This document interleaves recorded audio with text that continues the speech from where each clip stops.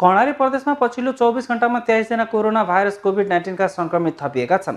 सुर्खेत स्थित प्रदेश अस्पताल पशुपक्षी रोग अन्वेषण प्रयोगशाला दैलेख अस्पताल प्रयोगशालामा गरिएको परीक्षणबाट बुधबार थप तेइसजनामा सङ्क्रमण पुष्टि भएको हो। थपिएका सङ्क्रमित मध्ये सुर्खेतका अठारजना दैलेखका चारजना सल्यानका एकजना रहेको सामाजिक विकास मन्त्रालयको स्वास्थ्य सेवा महाशाखा स्वास्थ्य शिक्षा अधिकृत नवराज कडेले जानकारी दिनुभयो। यससँगै कर्णाली प्रदेशमा कोरोना सङ्क्रमितको सङ्ख्या दुई हजार चौतिस पुगेको छ। पछिल्लो चौबिस घन्टामा आरटिपिसिआर नयाँ पोजिटिभ तेइसजना मध्ये जिल्लागत आधारमा सुर्खेत जिल्ला स्थायी घटेका नहुने अठारजना दैलेखका चारजना र सल्यानका एकजना हुनुहुन्छ। लैङ्गिक आधारमा पुरुष बाह्रजना र महिला एघारजना हुनुहुन्छ। र उमेरगत आधारमा दसदेखि बिस वर्षको दुईजना एक्काइसदेखि उन्साठी वर्षको उन्नाइसजना र साठी वर्ष माथिको दुईजना हुनुहुन्छ। हालसम्म जम्मा दुई हजार चौतिसजना आरटिपिसिआर पोजिटिभको जिल्लागत र लैङ्गिक आधारमा विवरण प्रस्तुत गर्न गइरहेको छु।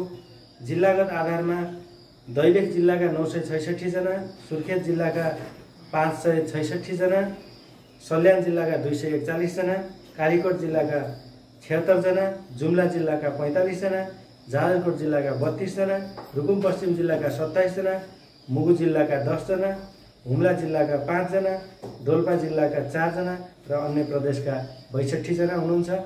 लैङ्गिक आधारमा पुरुष एक हजार सात सय छैसठीजना र महिला दुई सय अडसठीजना हुनुहुन्छ।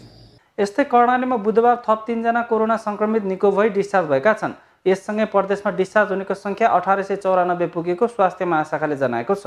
अब म पछिल्लो चौबिस घन्टामा कोभिड उन्नाइस सङ्क्रमण निको भई डिस्चार्ज हुने विवरण प्रस्तुत गर्न गइरहेको छु। दैलेख अस्पताल नारायण आइसोलेसन सेन्टर दैलेखबाट एकजना पुरुष र जाजरकोट अस्पताल जाजरकोटबाट दुईजना पुरुष गरी जम्मा तिनजना निको भई डिस्चार्ज हुनुभएको छ। यससँगै हालसम्म निको भई डिस्चार्ज हुनेको सङ्ख्या एक हजार आठ सय चौरानब्बेजना पुगेको छ। कर्णालीमा हालसम्म छजना कोरोना सङ्क्रमितको मृत्यु भइसकेको छ भने एक सय चौतिसजना आइसोलेसनमा रहेको महाशाखाका अधिकृत कडेले जानकारी दिनुभयो।